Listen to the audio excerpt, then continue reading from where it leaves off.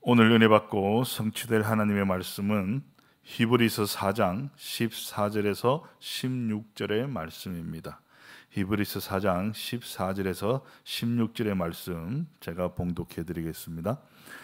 그러므로 우리에게 큰 대제사장이 계시니 승천하신 이 곧 하나님의 아들 예수시라 우리가 믿는 도리를 굳게 잡을지어다 우리에게 있는 대제사장은 우리의 연약함을 동정하지 못하실 이가 아니요 모든 일에 우리와 똑같이 시험을 받으신 이로되 죄는 없으시니라. 그러므로 우리는 극률하심을 받고 때를 따라 돕는 은혜를 얻기 위하여 은혜의 보좌 앞에 담대히 나아갈 것이니라. 아멘.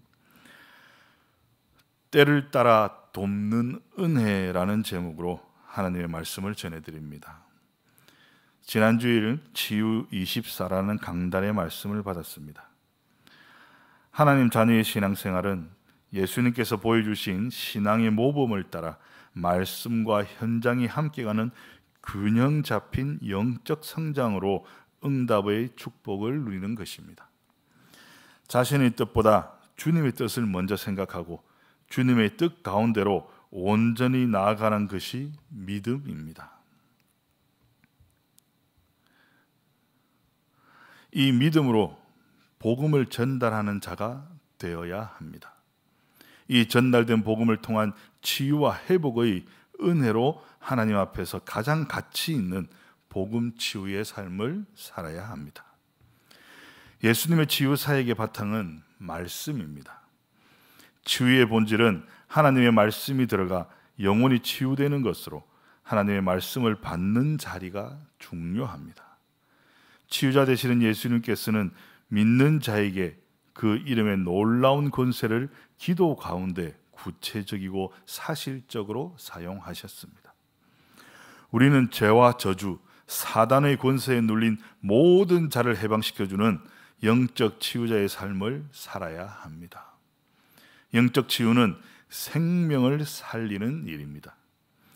예수님처럼 모든 생각과 관심을 24 생명 살리는 일에 집중하는 몰입적 사고를 가져야 합니다.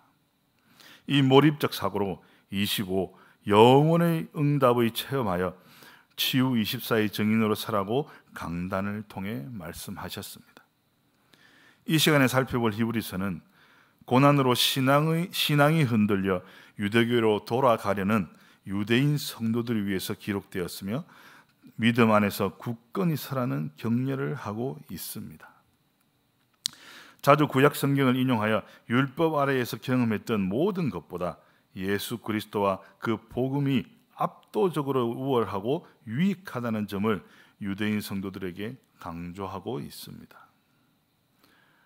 오늘 본문에 기록된 구원의 중재자로서의 역할을 순종으로 감당하신 예수 그리스도의 대제사장의 직분과 그 베푸신 은혜를 통한 영적 치유에 대해 살펴보려고 합니다. 세상적으로 치유를 함은 치료하여 병이 낫는 것에 심리적인 안정감을 더한다는 의미를 가지게 됩니다. 세상적 치유는 치료의 수준으로 겨우 아물게 하는 수준이어서 흉터나 흔적 또 기억을 남기게 됩니다. 그러나 반면 영적 치유는 하나님의 은혜로 예수 그리스도를 믿어 구원받는 것을 말합니다. 이것은 치료의 수준을 넘어 말씀의 능력으로 이전보다 더 강한 세트를 입어 성장과 발전을 하게 되는 것입니다. 이러한 체험을 통해 예수를 믿어 구원받은 우리는 또 다른 이들에게 복음의 말씀을 전하는 영적 치유의 증인으로 서게 됩니다. 오늘 주시는 복음의 말씀을 통해 치유받아 치유하는 치유받고 치유하는 영적 치유자의 삶을 살아나가는 24 제자의 삶을 발견하시기를 주님의 이름으로 축원합니다. 첫 번째로 큰 대제사장입니다. 14절 다시 말씀 읽어드립니다. 그러므로 우리에게 큰 대제사장이 계시니 승천하신 이 곧 하나님의 아들 예수시라. 우리가 믿는 도리를 굳게 잡을지어다. 구약의 레위기적 대사장은 한 해에 한 번 대속죄일에 백성들의 죄를 일시적으로 속죄하기 위해서 하나님이 임재해 계시는 지성소에 한 번 들어갔다 나왔습니다. 하나님의 아들이신 예수님은 구약의 대제사장과는 달리 우리의 영원하고 완전한 속죄를 위해 거룩한 하나님이 좌정에 계신 하늘로 영구적으로 들어가신 대제사장이십니다. 오늘 본문에서는 이 점을 강조하기 위해 뛰어나고 탁월한 대제사장이라는 의미로 큰 대제사장이라고 기록하였습니다. 우리가 심판의 보좌에 서게 될 때 정죄당하지 않을 사람은 없습니다. 그러나 하나님의 택함을 받은 성도들은 대제사장이신 예수 그리스도를 믿음으로 죄 사함과 구원을 얻어 의로운 자의 칭호를 받기 때문에 심판의 보좌에 서지 않습니다. 하나님의 아들이신 예수 그리스도는 하나님의 최종 계시이며 예수 그리스도를 통해 세상을 위한 하나님의 목적이 완성됩니다. 예수 그리스도는 새 언약의 중보자로서 우리를 대신하여 십자가에서 죽으셨고 부활 승천하심으로써 우리가 하나님 앞에 나아갈 길을 열어 주셨습니다. 그리고 우리에게 약속한 하늘의 영원한 안식에 먼저 들어가 계십니다. 본문의 믿는 도리는 내적으로 마음에 품고 외적으로 사람들 앞에 시인했던 신앙 고백을 가리킵니다. 우리가 예수님을 구주로 고백하지 않는 한 우리가 구주로 고백하지 않으면 우리는 우리를 위한 예수님의 대제사장적 사역에 그 대제사장적 사역에 따른 구원의 은혜를 우리에게 주어지지 않습니다. 우리가 고백을 해야만 우리가 고백을 하고 예수님을 영접하여 우리가 그 고백을 하나님 앞에 또 그리스도 앞에 또 우리가 사람들 앞에 공적으로 고백을 해야만 그 구원의 은혜가 그 십자가의 구원의 은혜가 나의 것이 된다는 말씀입니다. 따라서 우리는 예수님에 대한 신앙 고백을 굳게 붙들고 있어야 합니다. 이 본문에 나오는 본문을 본문의 대상이 되었던 이 히브리서의 대상이 되었던 유대교 교인들은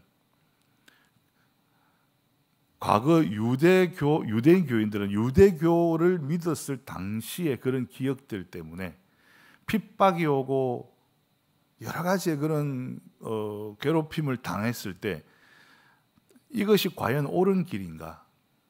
자기들이 복음을 알고 복음이 나의 모든 문제를 해결했다라고 고백을 하고 그리스도를 믿고 이 기독교로 개종을 하였지만 그 핍박을 이기지 못하고 그 핍박에 흔들려서 내가 과연 이 믿는 믿음이 올바른 것인가? 내가 바른 길에 서 있는가 하고 그 믿음이 흔들리기 시작했던 것입니다.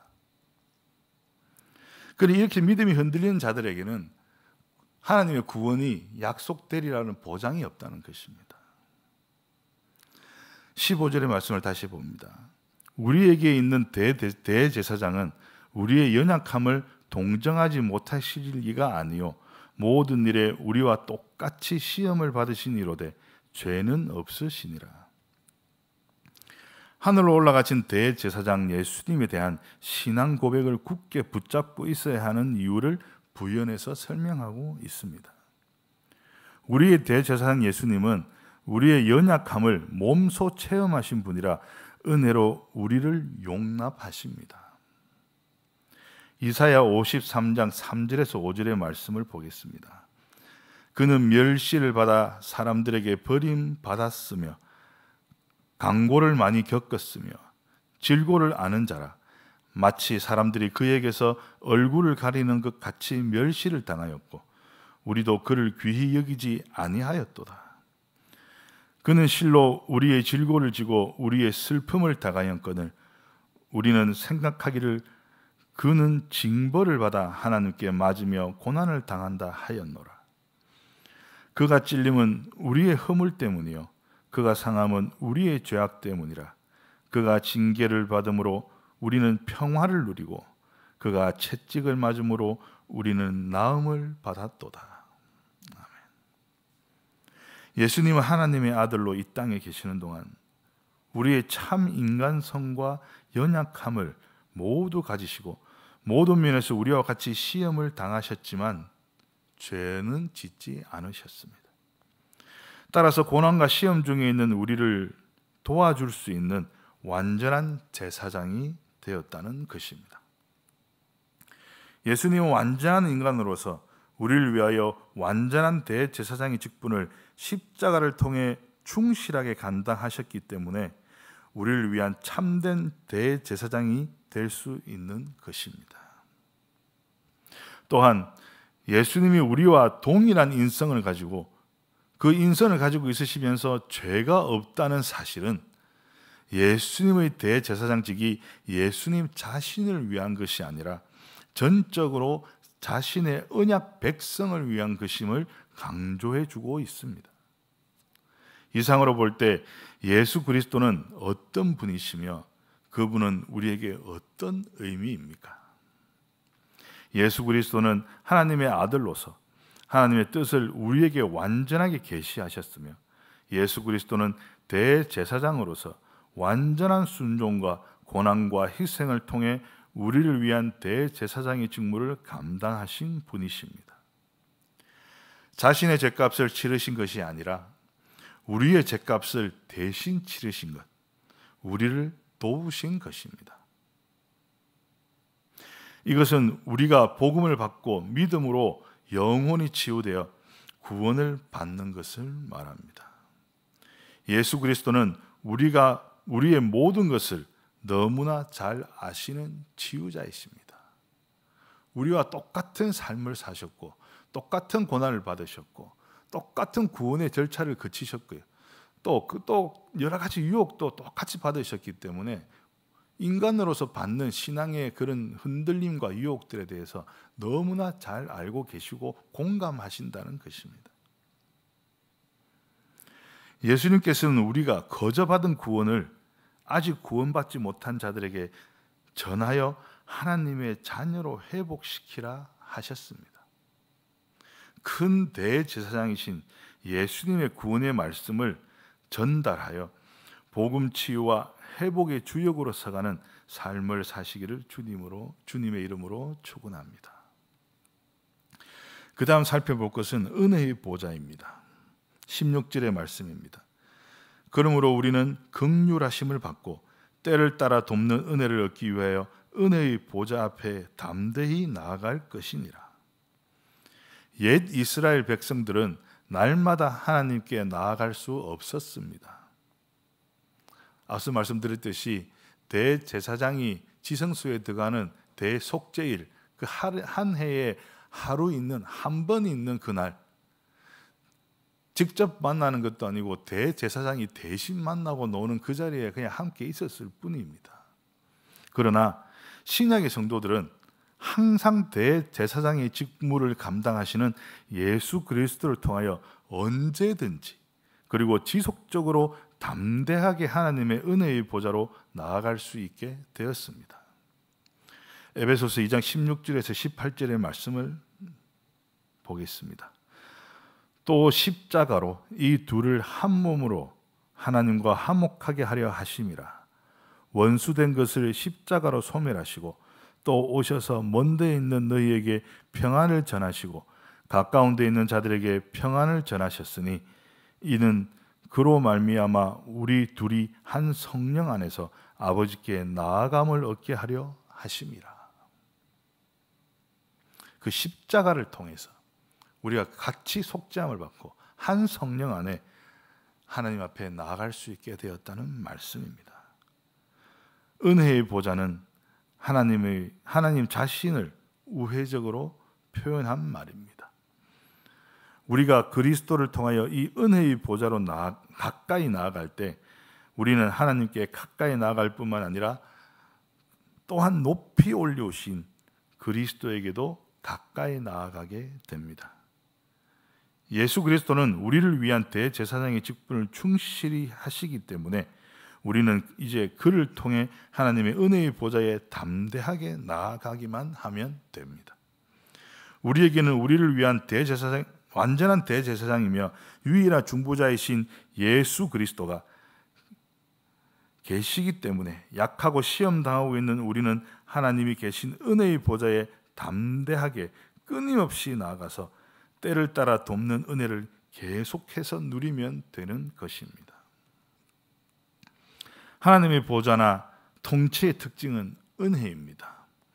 우리는 과거에 대한 긍휼과 현재와 미래에 대한 은혜를 얻고서 심판이 아닌 은혜의 보좌로 나아가는 것입니다. 그러므로 우리는 심판의 보좌 앞에 선 자, 심판의 보좌 앞에 선 자처럼 두려워 떨지 말고 성택받은 자, 구원받은 자로 은혜의 보좌 앞에 당당히 서야 합니다. 그리스도를 믿는 믿음을 통하여 완전한 확신을 가지고 담대하게 은혜의 보좌로 가까이 나아가 주님이 행하신 길을 걷기만 하면 됩니다. 은혜의 보좌 앞에 담대히 나아가 죄와 저주, 사단의 권세에 눌린 모든 자들을 예수 그리스도의 이름으로 해방시켜 주는 영적 치유자의 삶을 사시기를 주님의 이름으로 축원합니다. 결론입니다. 로마서 6장 23절의 말씀입니다. 죄의 싹슨 사망이요 하나님의 은사는 그리스도 예수 우리 주 안에 있는 영생이니라. 모든 인간은 죄 아래 있으므로 결국 멸망할 수밖에 없습니다. 큰 대사, 대제사장이신 예수 그리스도가 계신 은혜의 보좌로 나가는 이유는 때를 따라 돕는 은혜로 우리 주 안에 있는 영생을 얻기 위해서입니다. 예수 그리스도를 자신들의 믿음의 대상과 구원자로 믿는 자들은 어떠한 고난과 박해 위험 가운데서도 그리스도에 대한 믿음을 지키고 보존해야 합니다. 왜냐하면 그리스도가 고난을 통하여 완전한 구원을 이루신 것처럼 신자들도 고난을 통하여 영적 치유를 통해 생명을 구원하는 참된 신앙의 인의 모습에 도달하게 되기 때문입니다. 이것을 믿음의 걸음이라고 합니다. 믿음의 걸음은 그리스도 안에서 점점 자유로워지는 영광스러운 과정입니다. 우리가 우리의 때를 위하여 우리의 때에 맞는 그러한 은사를, 그러한 은혜를 구하고 찾는다면 너무나 마음이 조급해지고 또 내가 어디서 그것을 찾아야 될지 찾을 수가 없습니다. 여기서 말하는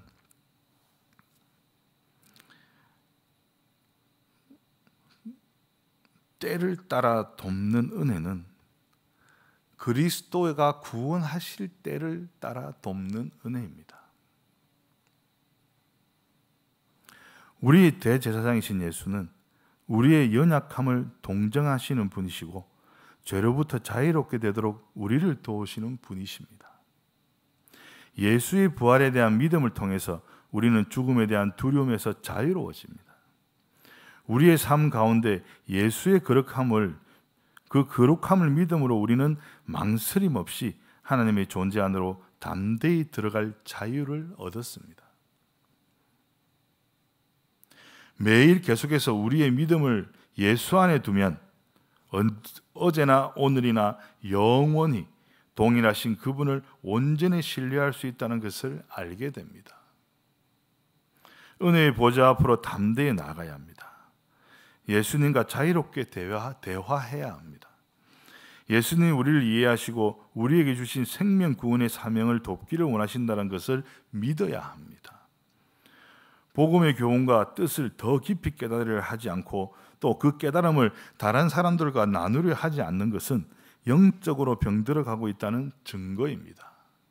이때 우리에게 때를 따라 돕는 그 은혜가 필요한 것입니다. 우리의 어려움을 다 아시고 때를 따라 돕는 은혜를 극률로 베푸시는 예수님은 우리가 병들도록 두지 않으십니다. 때를 따라 돕는 은혜로 생명 살리는 일에 집중하는 몰입적 사고를 통해서 25 영혼의 응답을 체험하여 치유 24의 정인으로 서게 되시기를 주님으로, 주님의 이름으로 축원합니다.